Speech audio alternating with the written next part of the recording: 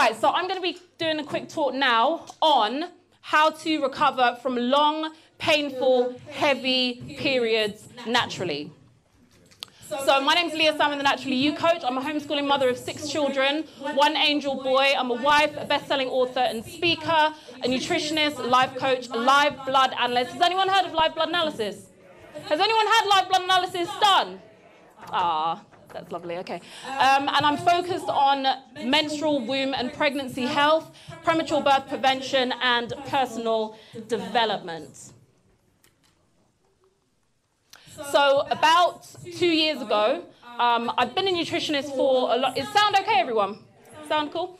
Um, oh, this event's being live streamed as well. So um, yeah, there's going to be record- there's going to be recordings of actually all of the talks that have ever been done by the Hidden Science Academy are all going to be on the new Hidden Science Academy website that's going to be launched soon. So. Um, yeah, so you're going to be live stream, which is what I was asking if it sounds okay. So yeah, about two years ago, after having been a nutritionist for about 15 years, um, I decided that the work that I was doing wasn't fulfilling me anymore. I was working with anyone and everyone, and I just wasn't getting I didn't feel like I was making a difference. I didn't feel like I was helping the right people. But the people that I did enjoy working with most, the people that I felt uh, most connected to were sisters. So in 2017, I put myself on a mission to help 100,000 black women to eat for health, think for happiness, and live in harmony, or what I call becoming naturally you, by December this year.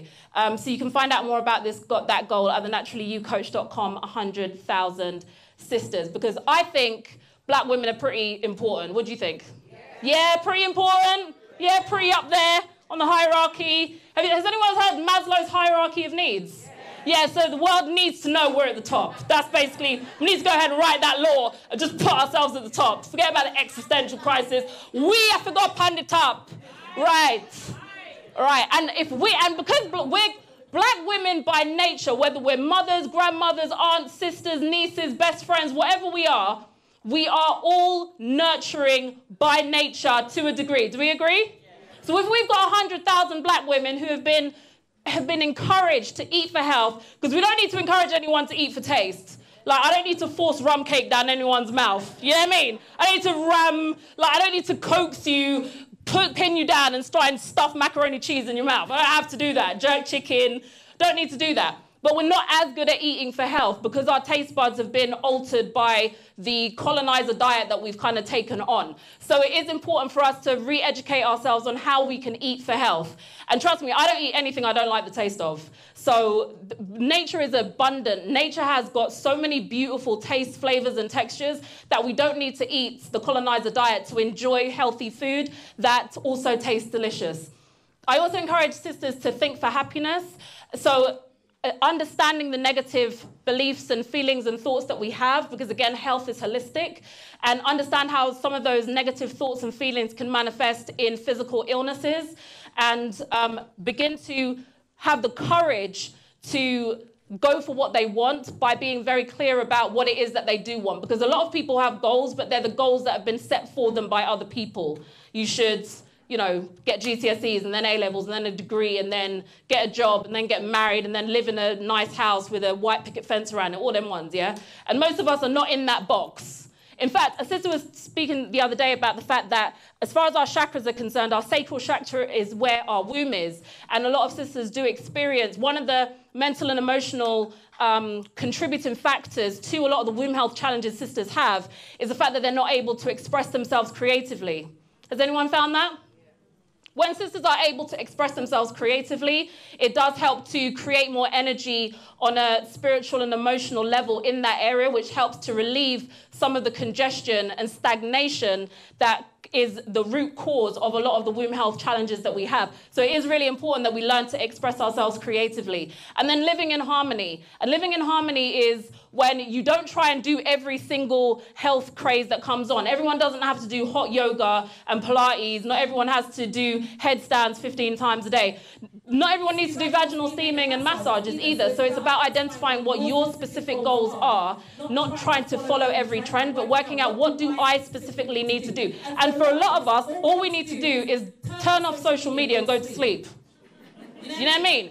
We have this FOMO, fear of missing out. We don't want to go to bed because we haven't seen EastEnders, we haven't caught up with Emmerdale, we haven't seen our favourite vlogger. Oh my gosh, she's just uploaded another video. Go to bed! You've got to wake up at six o'clock in the morning. And a lot of us are sleep deprived and malnourished. We might be eating four times a day, but none of the food we're eating has got any nutrition in it. So we're actually stuffed but malnourished. So it's really important for us to learn how to eat for health, think for happiness, and live in harmony. So, a little bit about my journey, and this is the very condensed version of my journey. When I was about 11 years old, I wanted to become vegetarian. Basically, because my big brother was a vegetarian, and I thought, oh, if he does it, then I want to do it as well. So everyone said to me, all right, you're a young grown girl. If you're going to become vegetarian, you need to get your protein. So guess what they recommended me? Soya, right. So I was, because I wanted to become a vegetarian. So like, oh, you know, you're to miss out on your soy, your, your protein. You're a young grown girl. So yes, sisters are shaking their head like, nah, fam. right, so a lot of us are more aware of the impacts of soya, but at the time I fully wasn't. So I just took the recommendations that I was given. So I was having soya literally three times a day. Soya milk, soya cheese, soya butter, soya bacon, soya burgers, soya chips. I slept in a soya bed, drank soya water, wrote on soya paper, had soya clothes, listened to soya music. You know what I mean? Half of those things don't exist. But you know what I mean? There was a lot of soya going on in my life. When I was about 17 years old, I developed a condition called metrorrhagia, which is now called inter intermenstrual bleeding. So I'd basically have a period, then I'd have another period two weeks later. So I was having two periods a month. And I was a 17 year old girl, so I wasn't talking to anyone about my periods. I just thought I, had, I thought I had a curse from God or something because I wasn't finishing my homework. I didn't know. So I was staying out too late and my mum put juju on me. I didn't know what was happening. But I wasn't going to tell anyone about my bits and pieces at 17. So I lived with it for two years. And as the expression goes, in order for change to occur, the pain of staying the same has to become greater than the pain of change. And for me, the pain of change was I have to go and talk to people about my intimate area. But at this point, I thought my womb was about to fall out in the morning. When I woke up, the, I would be here, the womb would be on the bed because it was just getting too much. So I did finally go to the doctors, and the reason I hadn't gone to them is because I, my spiritual guide is a man named Dr. Malachi Z. York, and he's always encouraged us to go back to our ancestors, tap into the power of nature, and not to rely too heavily on a system of medicine that wasn't created with us in mind. So I was too concerned that they were either going to operate on me or drug me or ignore me. And after I did pluck up the courage and go and have a consultation, they did the latter. They basically said, oh, if it gets any worse, come back in two, in, in six months. Now, initially, and, and, and a lot of sisters I work with have had that situation. They know they're in pain. They know they've got symptoms. Just like Serena Williams and Beyonce, they know there's something wrong, but the medical professionals disregard their symptoms and their conditions. So thankfully, what it did for me, initially it did make me feel abandoned, but what it did, it also empowered me to take my health into my own hands. And that's when I basically came up with um, a herbal combination on my own, aromatherapy blend, lifestyle changes, removed the soya. Within about three weeks, the symptoms had subsided, and within about two months, the condition was completely gone. So that encouraged me to well, it, you know, sometimes you need evidence. You might hear, oh, yeah, nature's healing, but until you really experience it, it doesn't make sense. And that, that hit home for me. So um, initially, I became that very annoying person that's just found out about health and they're questioning everything you think and do. Is that vegan? Is that gluten free? Is there sugar in that? Is there aspartame? Do you know what aspartame does to you, though? Like, I was one of them ones, isn't it? That's exactly how I was. Do you know how many animals died to put that on your plate? I was one of those people. But it also made me realize that I was passionate about helping people with their health, and I became a nutritionist, and the rest moves on from there. And since then, I've worked with a lot of sisters who, in fact, most of the people that I work with are sisters who have got womb health challenges. So the keys to recovering from, because not only did I have metrorrhagia, the, they, the periods I had were painful, heavy, and long. The keys to recovering from that is rever to reversing those symptoms are protection and prevention. So it's not just about getting rid of the symptom, it's about protecting yourself from the condition starting and preventing it from starting. So in my work as a live blood analysis, one of our expressions is the microbe is nothing, the terrain is everything. So we've got microbes, we've got bacteria in our body all over the place, but they're not going to take hold and create diseases unless the terrain, which is your body, is in a state that allows them to grow. So you can throw seeds onto concrete and they're not going to grow because the terrain isn't fertile enough. But you can throw them onto rich, fertile soil and they'll grow like crazy. Now, if you're a sister or you know anyone who's had fibroids and has had those fibroids taken out, and then shortly after more fibroids have grown, that's because nothing was done to change the terrain. In fact, I knew a sister who got the operation to take them out, went for a checkup six weeks after the operation, and more were already growing. Because the terrain is everything. If you check, if you put a swab at the back of a nurse's throat, you will bring back that swab with streptococcus, um, C- CPOD, all of these mad diseases will be at the back of a nurse's throat, but her immune system is so high, having been exposed to it, those bacteria can't take hold. When it comes to heavy, long, painful periods, we need to not just address, okay, we have to stop the bleeding, we have to shorten it, we have to stop the pain, we have to address why they're there in the first place. It's also very important to focus on fueling your body's natural innate function to grow, repair, and balance. Because your body is designed to grow, heal, and balance. Just like a car. You put petrol in a car, the car's gonna go. You don't need to manually go in and move the gears, move the engine, move, I don't even know what's under the hood of a car, so. you don't need to do much. Just put your foot on the accelerator and tell it where it needs to go. And your body's the same. Once your body's got the right level of fuel, you might need to top up the oil and the water and those kind of things. So you need to add a few things, but once your body's got the right fuel, your body is designed to heal, grow, and repair itself. So most of us just need nourishment. And then nothing works alone. So some people are like, oh, I tried Agnus castus, I used evening primrose oil, I had smoothies three days of a week, and it just didn't work. And that's because we are holistic beings. We're not just about our nutrition, we're about our lifestyle, we're about our movement, the lack of movement, the overexposure to EMF the 5G that's coming now is going to be a big consideration for us. So we need to look at things holistically. What we're going to be putting on our skin, which is what Sal's going to be talking about next, all of these things are important. So it's important to have a holistic approach to our health. Now, there are so many reasons why you could develop heavy, long, painful periods. Feel free to take pictures of these slides, by the way.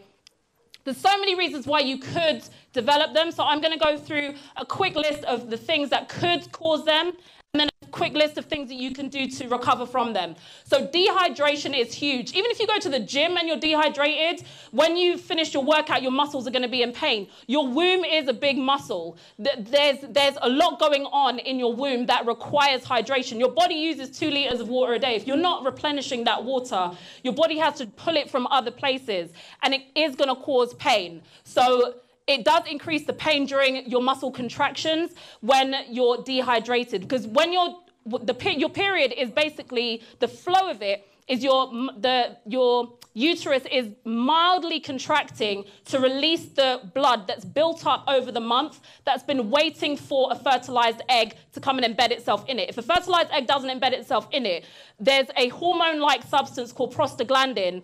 There's a small amount of it that creates small contractions to release that lining, and that's what your period flow is. When there's hormone imbalances, too much prostaglandin gets created, and that's the same hormone that's responsible for the contractions during pregnancy. Which is why when there's an over, when we talk about hormone imbalances, that's one of the hormone-like imbalances that can create those extremely painful periods because it's like your body is ready to have the baby. Soya and xenoestrogen. So soya has a form of estrogen. Xenoestrogens are estrogens that are found in the environment, so not by foods or in your body. Things that come from like plastic wraps and plastic containers and those types of things. Anything that interferes with, so there's two other hormones, the follicle stimulating hormone or FSH and the luteinizing hormones. Those are two hormones that are released during your periods, during your um, menstrual cycle. And soya and xenoestrogens can interfere with the levels of those those can extend the length of your periods. So we need to make sure we're not exposing our body to external hormones because our body has a hard enough time balancing hormones as it is. Sugar strips your body of magnesium. Magnesium is really important for muscle relaxing.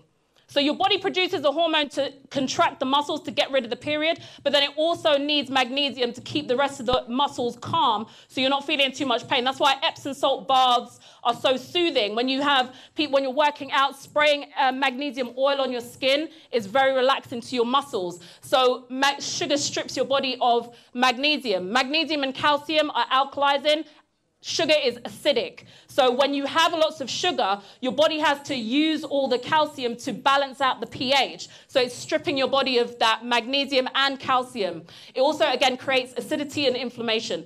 Too much alcohol, caffeine, and smoking, again, it increases the prostaglandin, those muscle contractions. It contributes to overproduction of prolactin, which um, attributes to breast tenderness, causes bloating, dehydration, more dehydration, and vasoconstriction. Vasoconstriction is where there's not enough blood flow to the rest of the body and to that area as well. So you're losing blood, but there's not enough blood nourishing that muscle.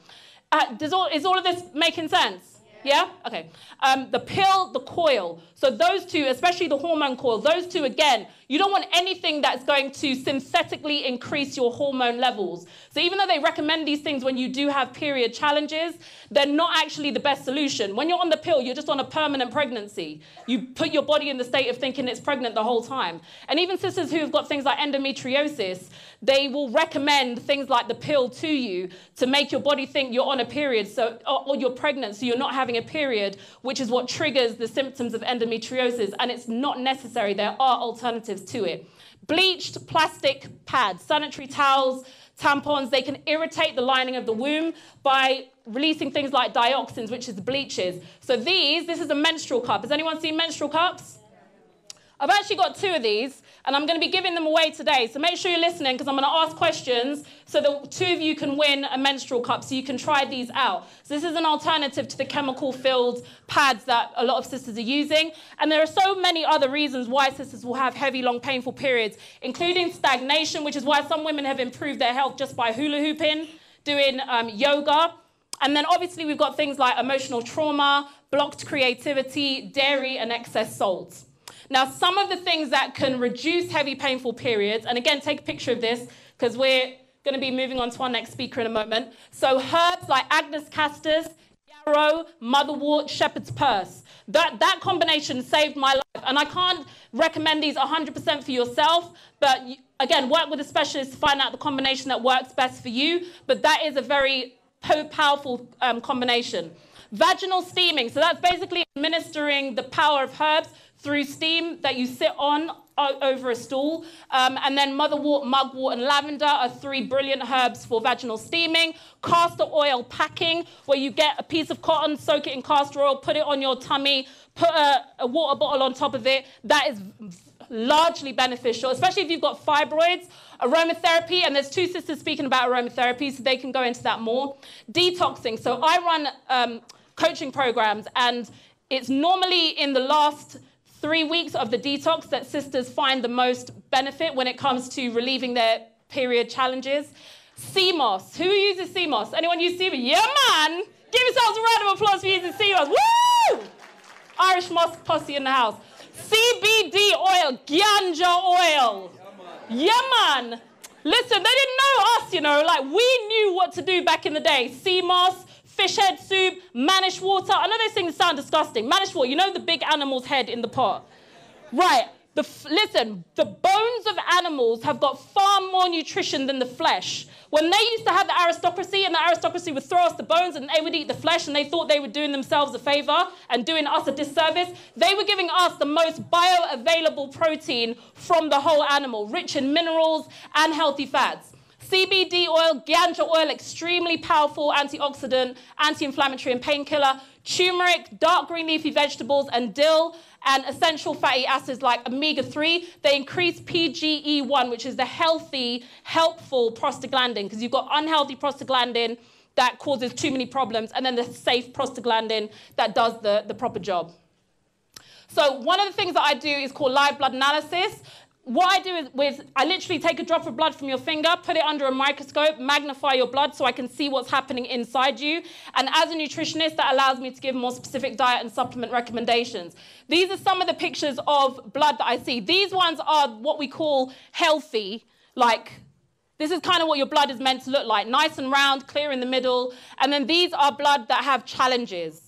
Now, it's when, when people say I've gone to the doctors and they say there's nothing wrong with me, but I know there's something wrong with me, doing live blood analysis really helps me to empower sisters to to trust themselves. And honestly, one thing I really have to encourage you all to do is trust yourselves. If you know there's something wrong with you, I mean, you're here today, so you got a good judge of character anyway, innit? you got good taste because you're here with us. But honestly, if you feel there's something not right, trust yourself and keep working, keep finding, keep working with people until you find someone that can identify what you already recognize. And a lot of sisters that tell me they've got challenges, and then I see these things in their blood, I'm like, this explains what you were trying to tell people and they were not listening.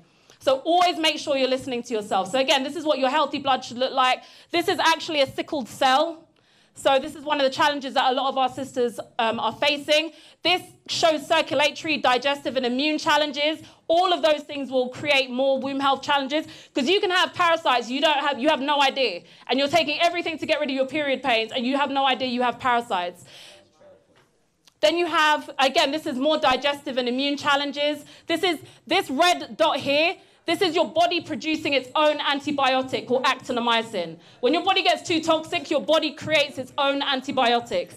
Then we've got, so these are the most important for womb health. These cells that have got the white bits in them, these are iron deficient cells. So you might go and have a test and say, oh yeah, my iron's fine, but I'm still tired when I look at someone's blood, I'm like, no, you're right. You do, you do have low iron. So please, sisters, trust yourselves when it comes to these kind of things. One of the programs I have is called a womb wellness program that you can find out more about on my website. And I've got a free gift called the Womb Wellness Gift that you can find out more about at the naturallyyoucoach.com Womb Wellness Gift that goes into more detail about everything that I was just speaking about. And that's me for the day. Thank you very much.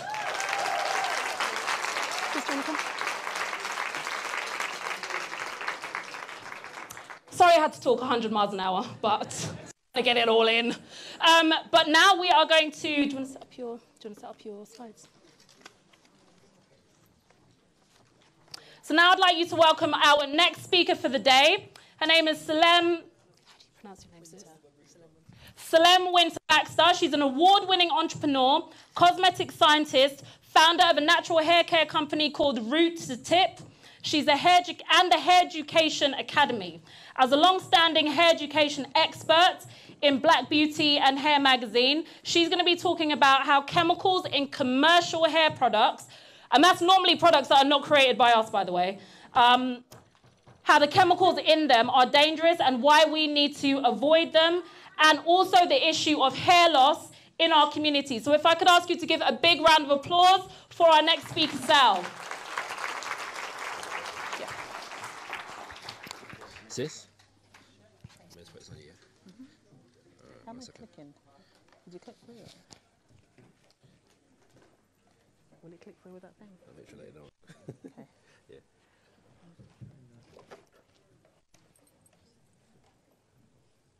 I think I'll put it on present play. Hi guys.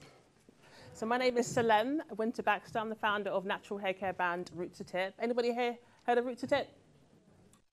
Yeah, one person. well, hopefully by the end of it, should be more familiar with the brand. Basically, I started making products. One second, one second, sorry. Sorry. Okay. Apologies. okay. Can you hear me all right? Yeah. Okay, cool. So one second. You just got to press play, present, up there. This is a different, all right. Is this, this ain't PowerPoint? Oh, yeah, this is good. Just press play. Okay, so I'm actually obsessed with dry hair. On Instagram, I'm called at Sal Dry Hair because I literally just see people's hair. Can you hear me? Yeah. Yeah? Okay. So I was just saying, I'm li literally obsessed with dry hair, obsessed with hair, obsessed with having us have the best hair days possible. So I started my brand probably about a decade ago now. It sounds like a long time. It was a long time ago. I had a hair loss condition called seborrheic dermatitis. Anybody heard of that before? Yeah. It's kind of like the adult form of cradle cap. And with me, I had hair loss at the front of my head because of it. It got really, really bad. Anybody here suffering with a dry scalp at the moment? Anybody? Afraid to say? Yeah, a few people there. let's be honest in here today. I'm here to help you guys. So I also write articles for Black Beauty and Hair magazine as the resident natural hair education expert. And I have noticed over the past few years that a lot of black women are going natural are returning to the natural hair. Um, anybody here who's gone natural recently in the past year or so? Show of hands. Say aye. Okay, so quite a few. Anybody here who's relaxed? Relaxed or Any relaxed hairs in here? Yeah, there's a few people relaxed. Okay, so there's nothing wrong with that. I'm just saying that um, there's been a massive trend towards natural hair the, over the past few years.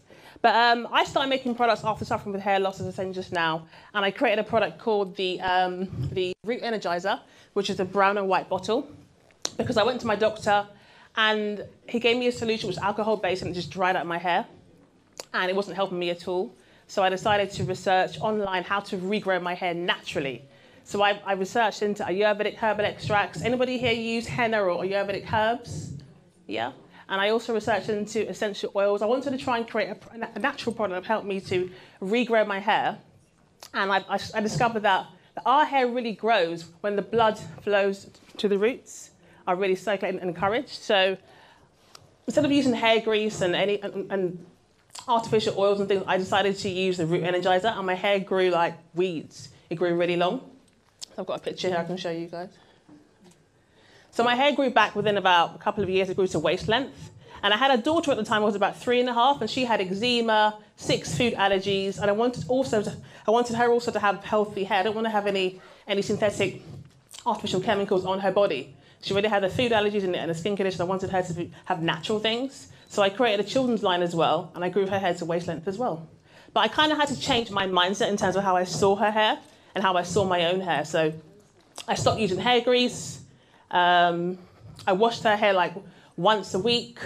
Um, I conditioned her hair weekly. I did regular scalp massages, and I realized that our hair responds to tender love and care and touch. It also loves water. Anybody here who washes their hair less than maybe once a week? Quite a few people, yeah? Once a month? Yeah. Are, you, are we about, about once a month, guys, or was it once every two weeks? Once every two weeks, okay. Well, that's a, that's a black hair care myth. Our hair and scalp loves to be clean. In fact, if you're trying to regrow your hair or grow longer hair, your hair should be washed at least once a week. But I'll get onto that later. So you can see here, um, these are results from the Root Energizer. The, girl on the, on the, left here, she had like really bad nape hair breakage at the back. She, she used to have relaxed hair. She started using the Root Energizer oil. Within a couple of months, her hair grew back. So what she was using before wasn't doing the job. And in the Root Energizer is 100% natural ingredients. I realized that we can actually stimulate the best quality hair growth using natural ingredients and extracts. Mother Nature is the best. And that's a picture of my hair growth there. Okay, a few products in the brand we have. Then we have the, the honey rain juice here on the bottom here, which is our number one um, sort of selling product. And our, and our products work on all hair textures and types, which is a brilliant thing. But I'm talking today about EDCs in our hair products. Anybody here ever heard of EDCs before? No? Okay. So you're in for a treat then. So there was a recent study, a few years ago, a study in America that determined that I think 80% of the hair products marketed towards black and mixed race women actually contain endocrine disruptor chemicals. I've got a short video here to kind of give you an insight into what that is. Okay. Play it. Oops. Oopsie. Sorry, guys. Okay, I'll make it bigger.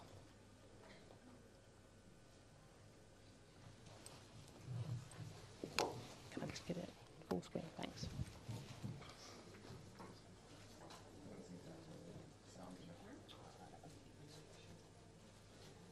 On the laptop. There it is.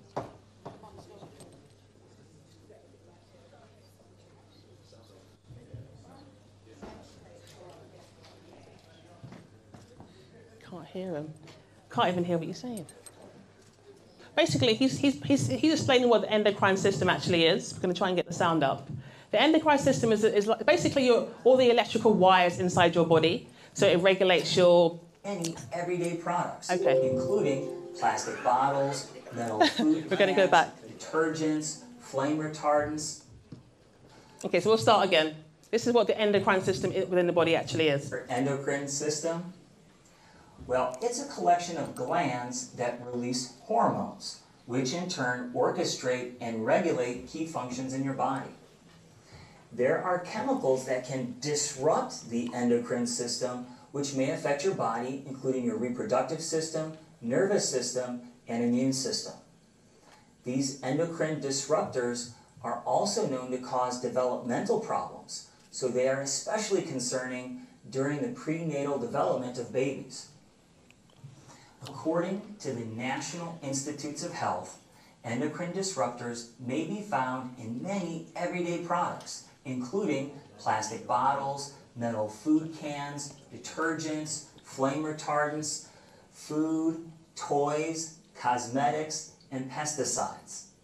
Many endocrine disruptors are SVOCs, semi-volatile organic compounds. That means they can be found in the original product, in the air around that product, and then from the air condensed onto indoor surfaces, most notably seen in house dust. There's still much to learn about endocrine disruptors. Of particular interest are the low dose effects. Endocrine disruptors can have effects at low doses that are not seen at higher doses. And that's the opposite of how it works with most other indoor environmental contaminants. In the future, I anticipate indoor environmental assessments, including dust samples that get analyzed for a panel of common endocrine disruptors, which then gets compared to some established exposure guideline. So basically, that's what the endocrine system is about. It's something that regulates the flow of your hormones in your body. Um, it triggers things in the brain as well. So it's a really important part of our, our internal system. So when you're using, for example, a product that contains endo um, that contains EDCs. There are loads of products, commercial products on the market that contain EDC, which, which are basically synthetic ingredients that then leach into your body and control and mimic the hormones in your body. So the fact that you guys haven't really heard about endocrine system or EDCs before is really, really quite, it's, it's quite good because you're going to learn a lot today. Um, okay.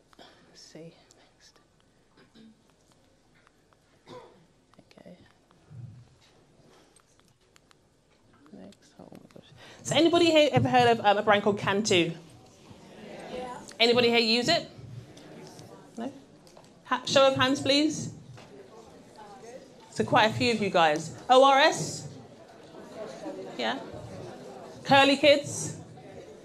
Curly Kids? Someone say yes? Yeah? Okay. So those three brands I just mentioned all contain EDCs, basically synthetic ingredients that can lead to infertility in women, fibroids, lead to cancer, um, a raft of different things. And the fact that we use them on a regular basis um, for a prolonged amount of time leaves black women and young girls of sort of a more of, more of an I'm trying to think more more at an at crease no, sorry let's see today at a more increased risk of developing fibroids and cancer later on in life. So I'm going to show you. Um, this goes on. Oh, come on. It's not working here. This is not working for me.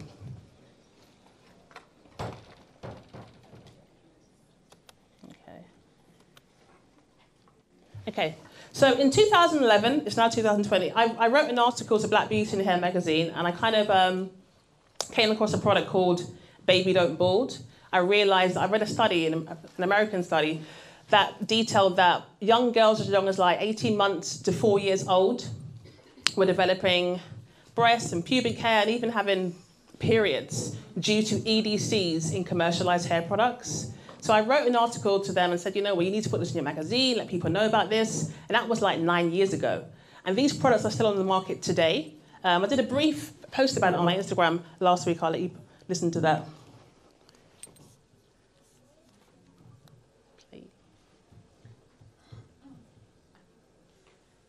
It's only, it's only about a minute and a half long. Hi guys, good morning. Uh, this is a really quick post okay. about children's hair care and being really mindful about the products you're putting on your children's hair. Simply because um, there are a lot of products out there that contain endocrine disruptor chemicals. And I've been doing a lot of research into this. For some years now, I first discovered a product called Baby Don't Bald. This product was marketed towards babies, black and mixed race babies in particular, and the product contained, amongst other things, hormones, animal hormones. Now, why you want to put a product containing animal hormones on your child's hair and scalp is going to seep straight into their bloodstream and have a direct effect on the hormones developing in their bodies.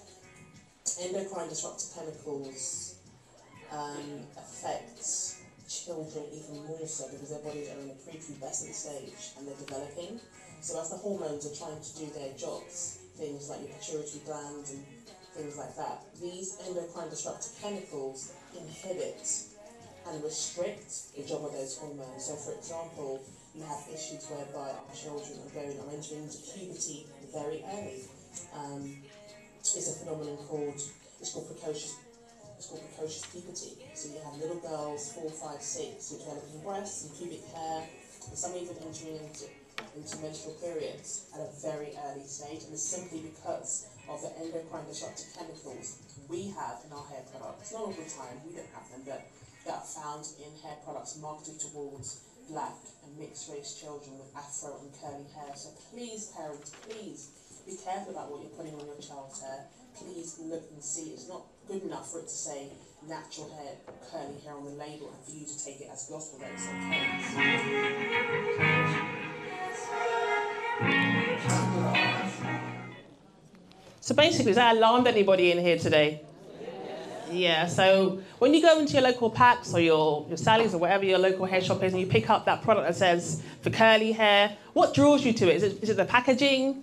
Do you guys read the ingredients on the back? You try to make the hair just more manageable. Are you guys, who's reading the ingredients on the back? Anybody? Quite a few of you. But do you understand what the ingredients are saying? Do you know whether it's completely natural or not?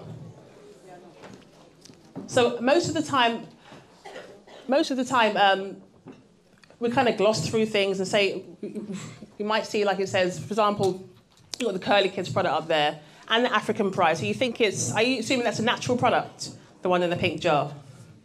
If it says olive oil cream, would you think it's natural? To, to a certain degree, we often do. I've circled on, on the bottom of these images here, these are all ingredient labels, and there are like three EDCs here on, on, the, on, the, on, the, on, the, on the African Pride one. There's three EDCs on the, on the Cantu one as well, and more on the, on the, on the Curly Kids. So these are marketed at children, one's an adult product, but if you're using it on your child's hair on a daily basis, you're basically giving her a dose of fibroids, infertility, cancer in later life as well, and all to make her hair look pretty. So it's time we kind of wake up and realize that people who, who, who manufacture these products I'm not interested in your child's health at all.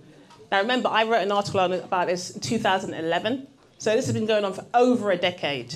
They had the reports in America that state that young, young black girls are more likely to, to develop breast cancer in later life because they're more likely to use hair care products to manage their hair at a very early age, which leads to the onset of puberty from younger age as well, which is linked to the onset of early or the onset of cancer at um, an earlier rate than their white counterparts. So it's really important to identify what products you're using on your child's hair.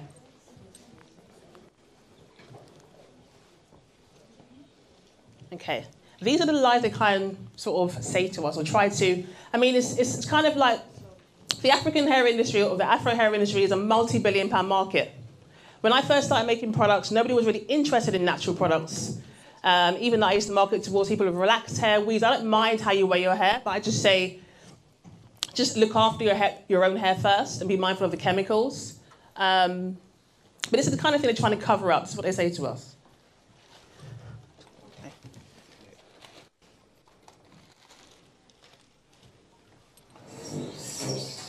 A glass of milk every day.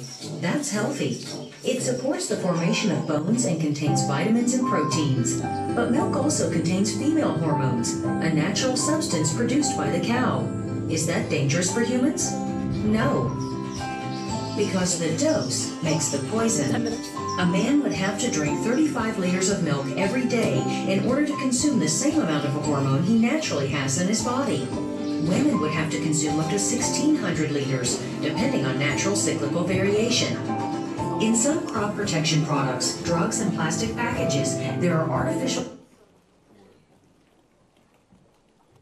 substances which have an impact on our hormonal system. From the scientific point of view, these present no problem. In the licensing process, they have already proven that they are safe when used correctly. For them, the dose makes the poison applies as well. Nevertheless, there is a call for a legal prohibition of all artificial substances with a hormonal impact, no matter how important they are for our nutrition, health, and quality of life. Why? Because there are indeed some hormonally active substances which can cause diseases like cancer. That doesn't mean that all substances carry this risk. There is no record of toxic effects on humans from low doses of weakly active hormonal substances. However, poor nutrition, lack of exercise or infections, and inherited dispositions have been shown to cause many diseases of modern society. Nonetheless, life expectancy is increasing, not least because modern diagnostic tests and drugs have consistently improved our ability to treat diseases.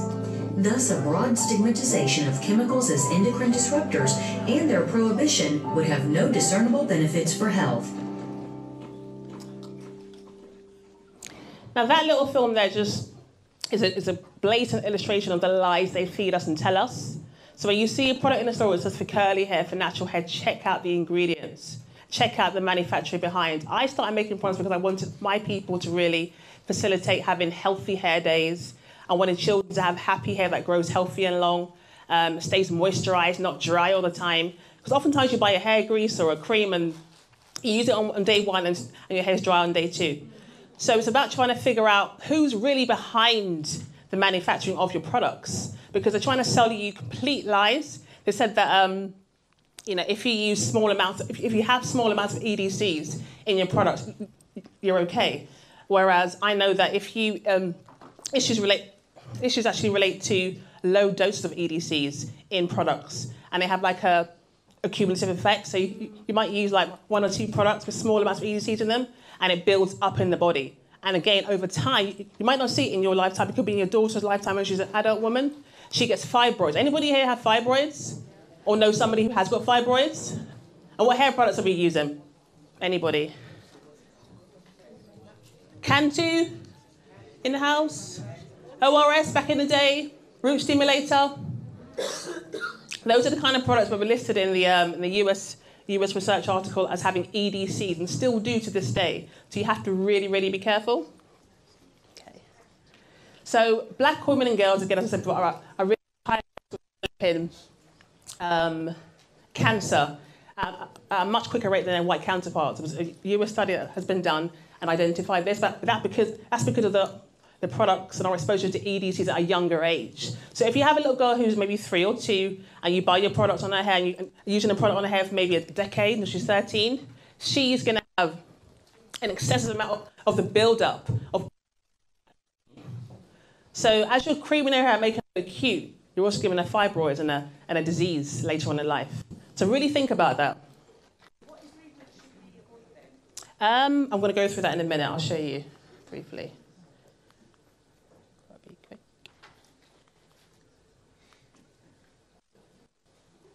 Okay. So the EDC cocktail effect is what I just mentioned just now. It's basically when you have tiny amounts or trace amounts of EDCs in different products and you're consuming those or you're putting them on your body. And it's, for example, the issue is when you use a leave-on product that contains a small amount of EDCs. They say, for example, if you have a product that's made by, I don't know, a commercial brand, it's a, it's a, it's a, it's a leave-in conditioner or a you apply it to your hair, it's a leave-on product, so it's going to leach into the body. That's an EDC. And then you apply, I don't know, you might go to a takeaway and microwave your food in a, in a plastic container. That's EDC leaching into your food more into the body. So it's layering up the levels of EDC. Do you, do you want to know what I mean? Which creates a cocktail in the body, which leads to all these horrible diseases later on in life. So you have to be really be careful about what you're applying to your scalp, especially. Endocrine disruptor chemicals. So endocrine disruptor chemicals. Okay. So somebody asked what kind of ingredients should we, should we be looking at or avoiding? Things like phthalates, but it's hard, I mean, sometimes they're disguised with different names. In America, the FDA has different rules to over here. In the EU, there's actually a, um, a ruling in November 2018 detailing that we have to be more, more transparency amongst manufacturers who have to detail what EDCs are on their products. But things like um, parabens, methylparaben, propylparaben, phthalates, PHP. There's loads of them on there, but you have to kind of look through and do your own research as well.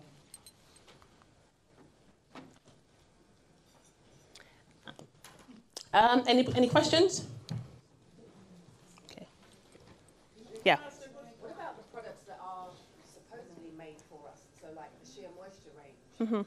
um, that had emanated from, you know, uh, Sierra Leone or somewhere, and it's now become big business. I mean, is that something, uh, that, you know, those products, are they full of EDCs? Um, it's about reading the labels. I know that when products get commercialized, they do change their formulation sometimes, and that was a complaint that I've I heard. I had follow Shea Moisture. So it's really about looking at the ingredients and doing a bit of research yourself and identifying whether there's risk of EDCs in that formulation in the, in the, in the label on the back. But look out for your parabens. Look out for fragrances.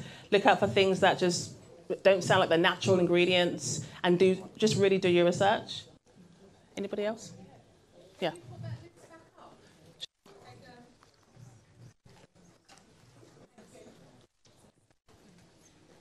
Any more questions? Sorry.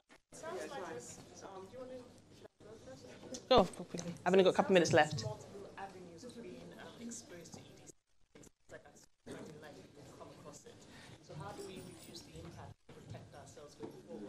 I think moving forward, what you have to do is, in terms of your hair care, which is an open for scalp is an open set of pores, make sure your what you're applying to yourself and your skin is not full of EDCs. And that's going to make a massive impact already. The ones you can't avoid that are in the environment, you can't avoid those. But making sure what you're buying and using for yourself is EDC free as a first point. And a question over there, because I'm rounding up really now. Okay. Do you know the question? The question is, what was the question? What was the question? I've forgotten the question now. What did I ask you? I've forgotten the question now. Somebody was asking me a question. Yeah. Things like um, things in washing up liquid, for instance, washing up liquid, hand wash, um, other do they have these things in it? Because I, I think sulfate is not very good for you. It's not. It's not. It's, it's not good for you, but it's not an EDC. Um, it's just it's, it's industrial cleanser, so it's very drying. Sorry. It dries the skin out. It does dry the skin out. So. Okay.